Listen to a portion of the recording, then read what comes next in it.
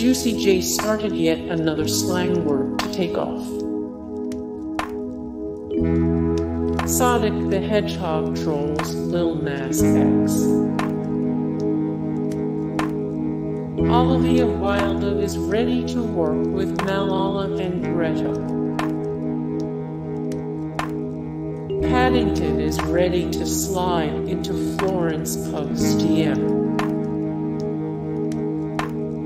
B makes nothing but good points about NSFW frozen content. Florence Pugh is accepting of Paddington's advances. Mariah Carey throws shade at the Grammys. Lil Nas X is a voice of the people. Chrissy Teigen's son only enjoys two things in life. Taika he has found his safe space. Finneas reflects on the five-year anniversary of the blue slash black slash white slash gold dress debate.